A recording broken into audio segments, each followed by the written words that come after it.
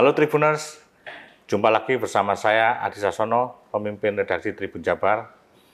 Kali ini saya uh, berada di Mapol Restabes Bandung. Nah, tentu saja hari ini saya ditemani oleh uh, Kapol Restabes Bandung, Komisaris Besar Polisi Budi Sartono. Selamat pagi Pak Budi Sartono. Pagi Mas Adi. Sehat. Selamat datang di Polrestabes Bandung. Terima kasih sudah diterima di markas. Siap. Sibuk apa hari ini? Ya hari ini lagi sibuk pengamanan libur panjang ya. karena ada libur panjang uh, Idul Adha ya. dilanjut dengan uh, tanggal merah sehingga kami anggota kami sebar untuk melayani masyarakat khususnya di tempat-tempat wisata, yeah. jalur-jalur kemacetan, sehingga uh, bagi warga Bandung bisa terayomi walaupun ada kemacetan, tapi anggota kami akan ada di mana-mana. Seperti itu. Uh, Pak Budi, yang kami lihat dari biodata, Pak Budi kan lahir di Bandung ya? Ya betul, nah, Mas Adi.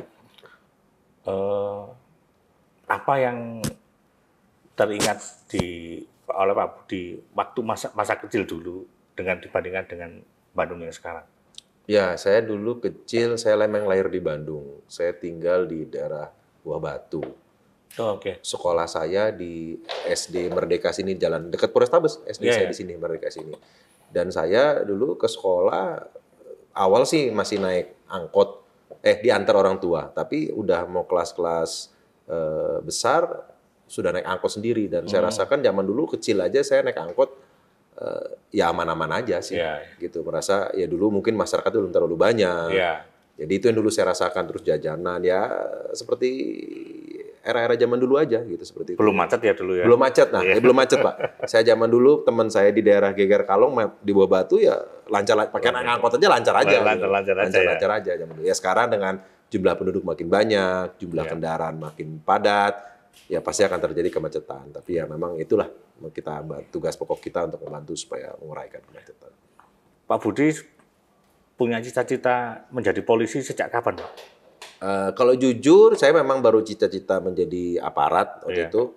Dulu masih ABRI zaman dulu. Iya, ABRI. Uh, itu pas SMA sebenarnya. Oh, SMA baru ya, terpikir. Kebetulan bapak saya memang juga dari tentara. Oh. Bapak saya dulu angkatan udara, uh, kebetulan dinas pertamanya di Bandung, kayak di Husen dan Margahayu itu. Oke. Okay. Nah, maka dari itu, tapi saya baru mulai uh, berminat mungkin untuk benar-benar serius itu pas kelas yeah. 1 SMA. Kelas 1 SMA. Nah, gitu. Kenapa, Pak? Ya, yang pertama uh, waktu kecil mungkin sering main-main nggak ini, tapi pas udah mulai besar, saya ngelihat figur orang tua, terus berpikir uh, pengen dulu, wah pengen juga jadi abri seperti itu. Iya. Oh, akhirnya ya di termasuk juga dukungan besar dari orang tua, ya akhirnya kita berminat habis itu. Kebetulan anak waktu itu dua bapak saya, laki-laki. Ya. Yang anak pertamanya kebetulan kuliah, jadi saya yang akhirnya meneruskan jejak bapak saya. Oh, okay. ya. uh, apa yang di ada di pikiran Pak Budi waktu itu jadi polisi itu kayak kayak gimana sih? Ya, nanggepin penjahat. Ya iya ya. dulu kebetulan saya juga kebetulan uh, saya dulu anak yang mungkin dibilang ya Badung-Badung zaman dulu lah. Badung-Badung zaman dulu ya. lah ya. Apa uh, sering apa yang melanggar lalu lintas, apalagi dulu merasa oh saya ini bapaknya aparat gitu iya. kan gitu kan.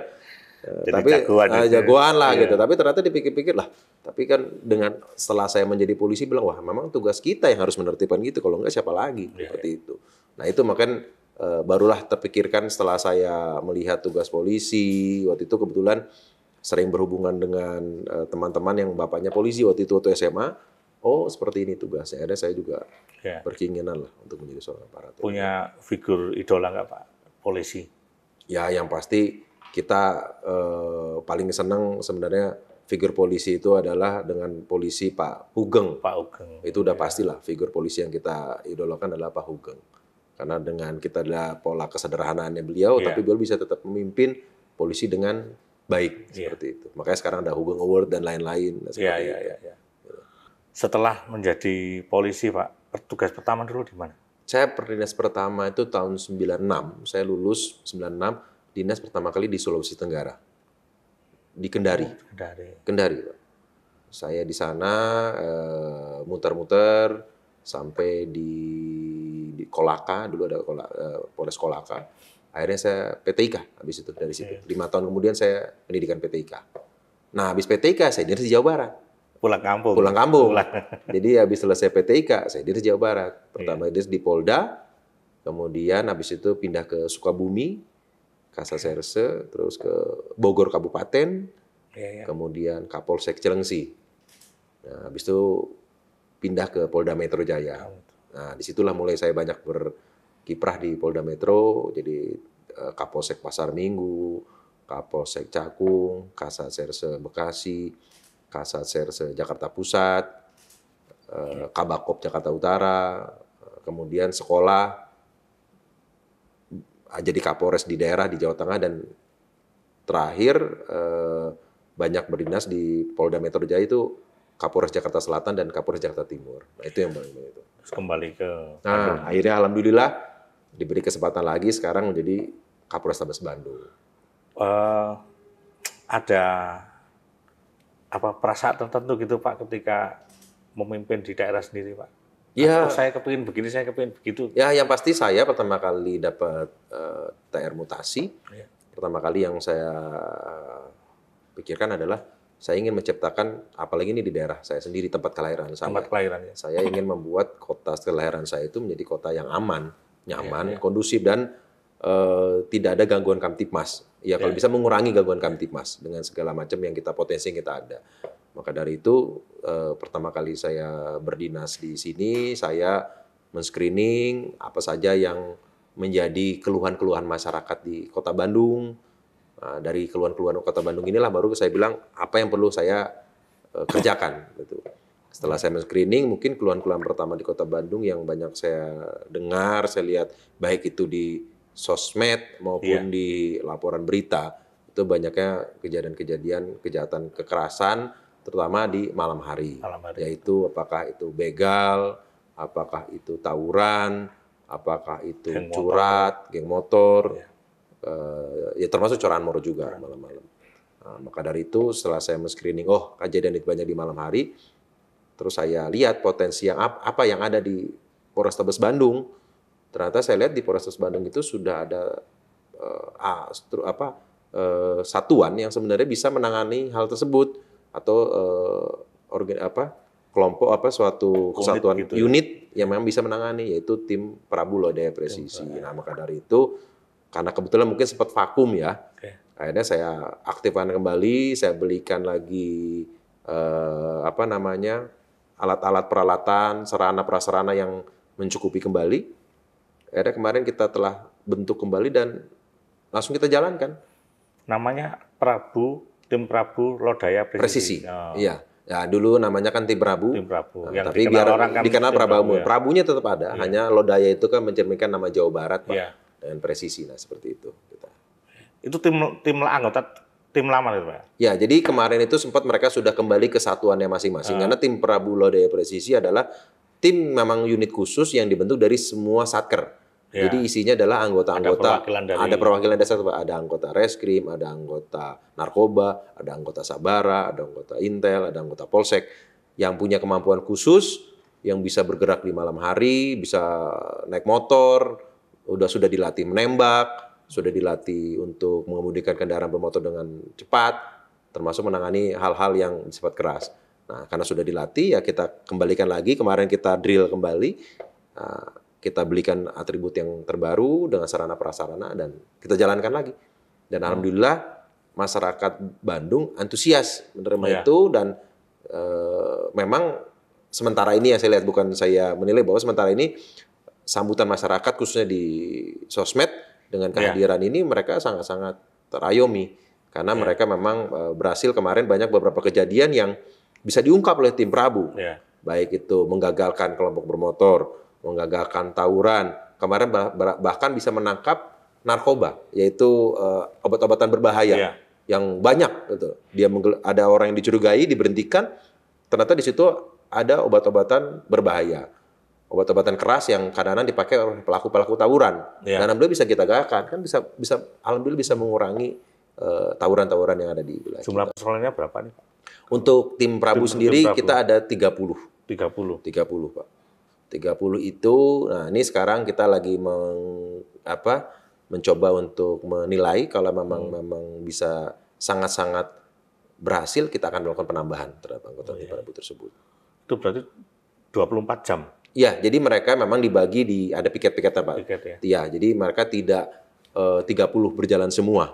Memang dibagi tapi tetap harus ada pagi dengan siang itu mungkin kece- kekuatannya seperempat, Pak. Hmm. Tapi kekuatan tiga perempatnya banyaknya di malam, Malam, hari. iya. Karena pagi sama siang itu sudah ada tim sabara, Ya, ya. tim patroli lainnya, tim polsek. Jadi sudah ada yang mengcover, Pak. Pagi siang relatif aman. ya. Lebih aman. Jadi malam memang untuk Prabu tiga perempat itu lebih banyak di malam hari mereka keluar. Seperempat tetap ada pagi-pagi mereka, tapi mungkin tidak sebanyak malam hari. Ya memang kalau kami di media Pak memang melihat bahwa beberapa waktu yang lalu ketika banyak sekali kasus begal, tawuran, eh, kekerasan motor itu memang banyak apa pembaca kami yang tim Prabu, tim Prabu, tim Hmm. Prabu. Siap. Nah itu eh, kami juga pernah menurunkan tulisan itu Pak tentang Siap. tim Prabu itu. Siap. Jika, jika, eh, ada pengaktifan kembali ya itu pasti kabar baik buat warga Bandung. Siap, siap, Pak.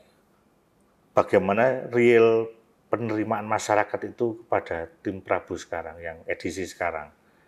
Ya, kalau saya melihat nih Pak ya, memang alhamdulillah eh, karena saya perintahkan tim Prabu ini juga untuk aktif di sosmed. Sosmed Jadi ya. mereka punya IG tersendiri ya. dan setiap mereka melaksanakan kegiatan, selesai melaksanakan kegiatan mereka boleh live streaming ya.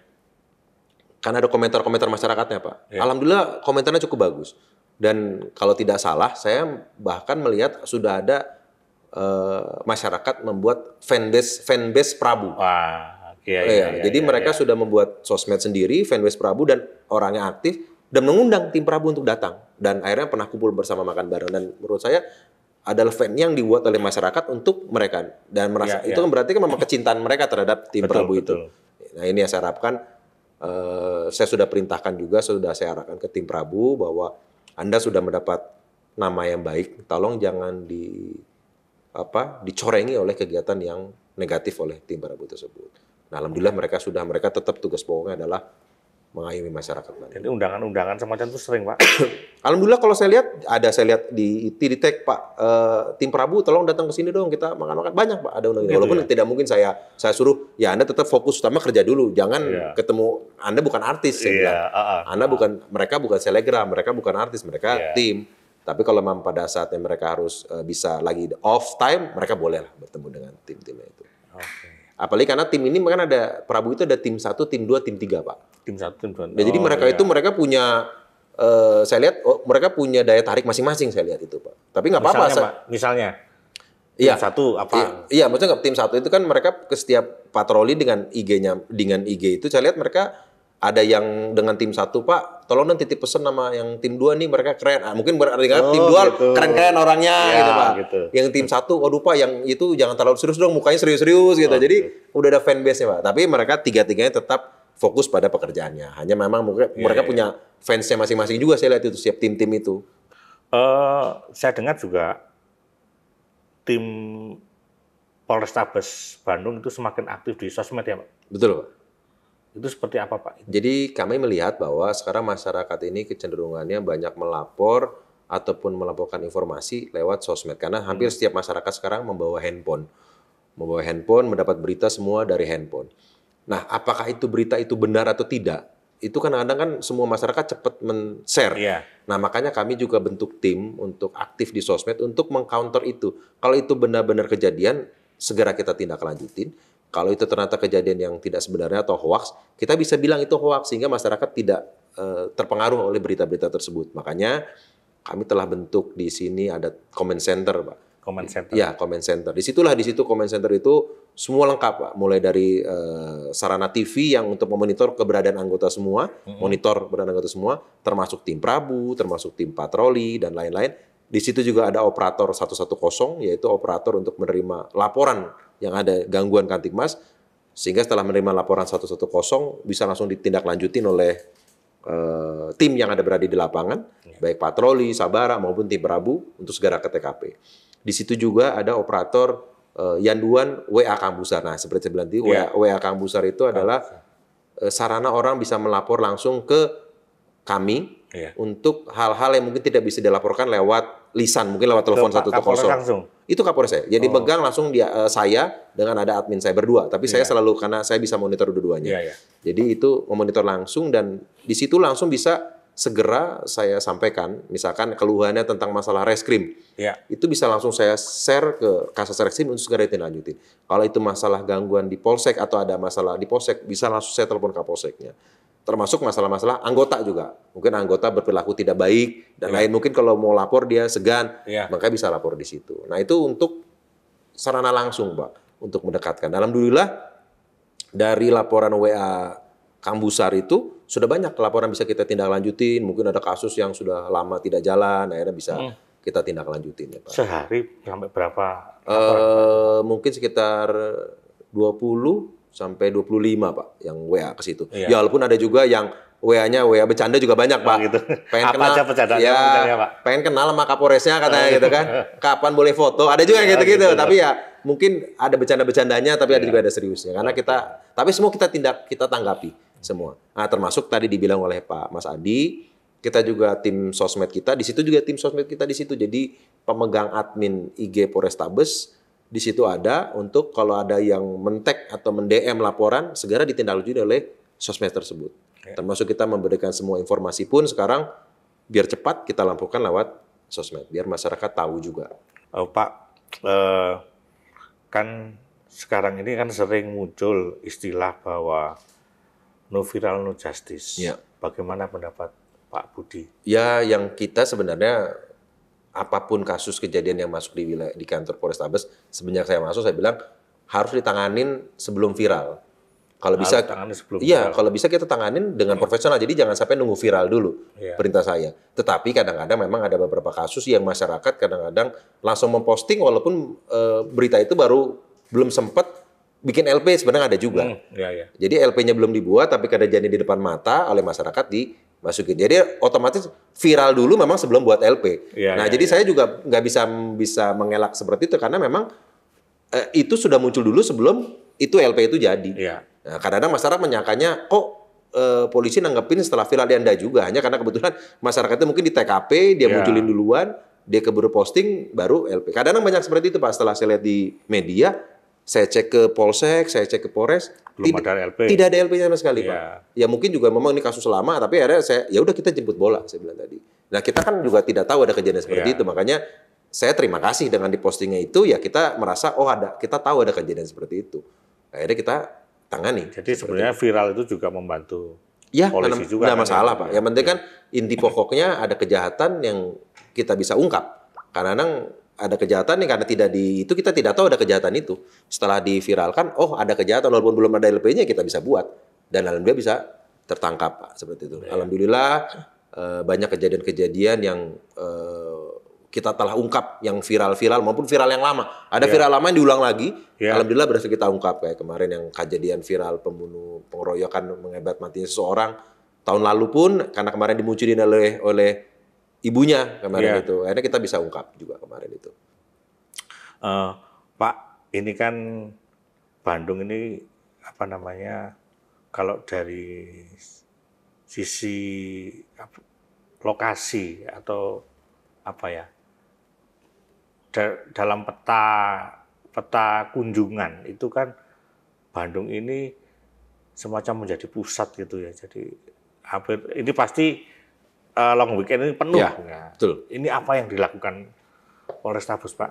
Saya sudah perintahkan kalau ke jajaran semakin tanggal merah, semakin hari libur, Iya. semakin kita harus banyak di lapangan. Iya. Karena kita Bandung ini adalah kota wisata. Kota wisata, tujuan wisata yang kalau hari libur, weekend, pasti orang berbondong-bondong datang ke kota Bandung, baik Iya. itu dari luar kota, dari Jakarta, pun dari kota lainnya. Maka dari itu, eh, kita, perintah saya kepada jajaran, khususnya fungsi-fungsi yang berkaitan dengan pengamanan, baik itu jalan raya, yaitu Kasat Lantas, eh, teman wisata, yaitu Samapta dengan Pap Ovid, Mm-mm. itu yang harus saya kuatkan Pak. Terutama kebijakan sekarang Pak Kapolda bahwa eh, jalanan itu mungkin kita bisa tidak bisa kita eh, tidak mungkin tidak macet namanya hari libur. Iya. Tetapi kehadiran anggota harus ada dan roda tetap harus bergerak.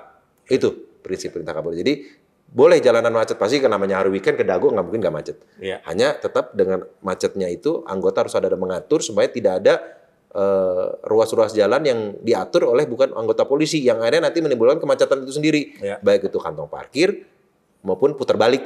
Iya. Nah, itu banyak paugah-paugah itu. Karena kalau dengan adanya polisi minimal kita bisa mengatur bukan bukan mendahulukan orang yang bayar, tapi memang mendahulukan jalan mana yang lebih macet. Iya, Seperti waktu saya dengan Pak Kasar Lantas jaga jaga di Dago Jajawai. Saya kebijakan satu arah dua arah kita harus terapkan di situ. Saya lihat karena sudah panjang, ya kita harus nerapin satu arah dulu kita turunkan. Kalau mungkin kalau kita membiarkan kepada masyarakat yang mengatur, apalagi Pak Uga, dia membiarkan orang yang bayar untuk turun, Ya. akhirnya tambah macet lagi di belakang. Karena nggak punya ilmu juga itu. Iya, Pak. Makanya Iya. saya bilang utus untuk malam weekend, hari weekend kita banyak di eh, jalan raya dan tempat Iya. wisata. Malamnya itu tim opsional yang kita kerahkan. Tim opsional. Nah, opsional baik tim Prabu, reserse, eh, polsek jajaran itu untuk mencegah kejahatan. Iya. Tapi untuk pagi dan sore itu adalah preventif kita untuk membantu lancar jalan dan lainnya. Kalau kita lihat eh, sering kali di masa-masa seperti ini ada gesekan antara wisatawan dengan tukang parkir misalnya dengan Pak Oga atau apa gitu. Biasanya seperti itu kan ya. Siap. Makanya kita wajibkan ada di tempat wisata itu harus ada anggota Pak Movi. Jadi kalau ada sedikit mau ada gesek-gesekan, segera bisa ada anggota yang menengahi di situ. Ya, tapi alhamdulillah selama saya di sini tidak ada gesekan antara tukang parkir dan eh, wisata. Alhamdulillah Iya, iya. belum ada laporan. Semoga tidak Ya, ada. semoga tidak ada. Semoga tidak ada. Jangan sampai ada. Supaya wisatawan ke Bandung nyaman Iya, gitu ya. Nyaman, Pak. Ya walaupun memang tetap Pak namanya kalau sudah macet telepon ke saya banyak sekali memang. tapi saya bilang, eh, tapi anggota harus di jalan. Iya, iya. Tapi ya itu Iya, apa namanya kita tempat wisata pasti ada terjadi penumpukan. Pasti terjadi. Tapi ya eh, setidaknya harus bisa berjalan dengan kehadiran anggota di jalan. Iya. Eh, Pak Budi, ini pertanyaan terakhir. Hmm. Eh, mungkin ada yang mau disampaikan kepada warga Bandung Hmm. eh, terkait eh, apa namanya media sosial misalnya atau laporan atau apa gitu. Hmm, hmm. mungkin bisa disampaikan. Ya untuk warga Bandung khususnya untuk eh, media sosial memang kita tidak tidak bisa lagi mengingkari bahwa ke, masyarakat sudah memegang sosmed. Ya. Tetapi perlu kadang-kadang sekali-sekali diperhatikan sebelum men-share suatu kejadian, pastikan dulu itu memang kejadian itu memang yang memang real dan ada atau eh, bukan yang kejadian berulang atau hoax. Karena kemarin juga banyak kejadian yang di-share itu ternyata kejadian-kejadian yang lama. Atau kejadian bukan di wilayah Bandung tapi ditulisnya di Bandung Ya, ya. seperti itu. Jadi juga jangan membuat resah warga Bandung dengan kejadian nanti disangkanya bahwa di Bandung ini tidak aman. Padahal itu kejadian yang mungkin sudah lama dan lainnya. Tetapi kalau memang itu real silakan saja. Kami juga tidak melarang masyarakat untuk men-share apa pun kalau memang itu bisa membantu tugas kepolisian. Itu silakan. Tapi juga eh, kalau yang share-share sifatnya nanti menghambat tugas kepolisian seperti eh, membuat pelaku kabur jauh ya itu jangan jangan jangan sampai karena ada seperti itu juga tuh. Ya. Ya kita lagi nangkep dikejar, oh nih polisinya lagi di daerah sini kan malah jadi kabur Oh, iya, polisinya iya, kan seperti iya, itu. betul. Malah ya, karena kalau belum ketangkep eh, ya kita perlu malah kita perlu jangan sampai muncul dulu seperti itu. Nah, tapi terus kalau untuk laporan warga Bandung tidak usah sekan-sekan Pak. Di sini sudah ada hotline yang khusus dibuat oleh Mabes Polri yaitu 110. Itu 110 ya. itu satu-satu bisa diakses oleh handphone mana pun. Bisa langsung diakses dan alhamdulillah sudah ada operator yang menjawab. Jadi itu misalkan telepon di daerah eh Kiara Condong, itu pasti akan langsung muncul ke Polrestabes Bandung. Kalau dia teleponnya di daerah Cimahi, pasti masuknya ke Polresta Iya. Cimahi. Itu Respon time-nya berapa, Pak? Kalau memang itu kita langsung angkat, Pak. Kalau memang tapi banyak juga kalau di 110 ini memang kadang-kadang masih ada laporan yang hanya di- hanya mengecek bisa tutup lagi. Tapi Oh. kalau diangkat benar menjelaskan kejadian itu kita tindak lanjutin seperti kasus yang kemarin dibilang ada penyekapan itu. Oh ya. Nah, itu pun dari laporan itu, Pak. Oke. Itu dari laporan itu. Jadi walaupun ternyata setelah kita tindak lanjutin itu mungkin eh, karena pacaran yang tidak boleh keluar rumah saja. Oke. Tapi ya tetap itu dari situ. Dia lapor, Pak saya nggak boleh keluar nih. Nah, itu langsung cepat itu. Langsung kita kita yang amankan. Nah itu Iya. berkat itu. Oh, satu lagi Pak untuk Bobotoh Pak. Nah ya, Nah, untuk Bobotoh karena pasti akan berhubungan ya. selama liga berjalan ini kan. Kebetulan saya pada saat uh, menjabat Kapolres Tabes baru sekali uh, melaksanakan pengamanan pertandingan, yaitu ya. terakhir waktu itu di GBLA. GBLA, uh, ya. Dan itu alhamdulillah berjalan dengan aman, lancar. Hanya satu yang menurut saya uh, saran saya buat Bobotoh yaitu pemakaian flare. Pemakaian flare itu ya. Bobotoh ya. Jadi flare itu kemarin masih ternyata masih sangat banyak di dalam pemakaian yeah. flare dan menurut saya itu membahayakan apalagi kalau nanti kena orang, kena barang, terjadi kebakaran.